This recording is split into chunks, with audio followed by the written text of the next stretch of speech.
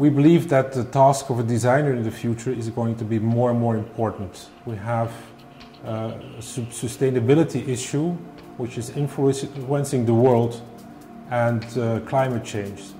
So we need designers who can make better products.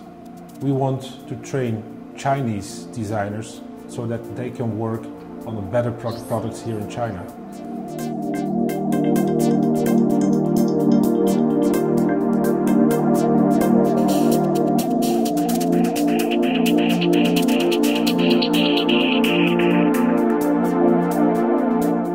Special thing that we can offer here is that we can offer the mix of the Western knowledge, culture on the design level.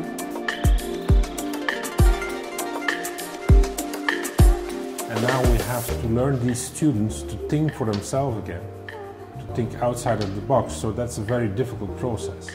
And that is the same here as everywhere.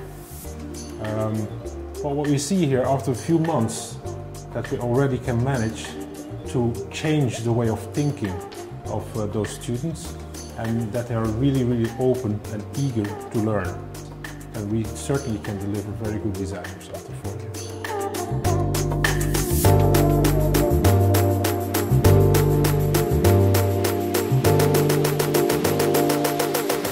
One, two, three.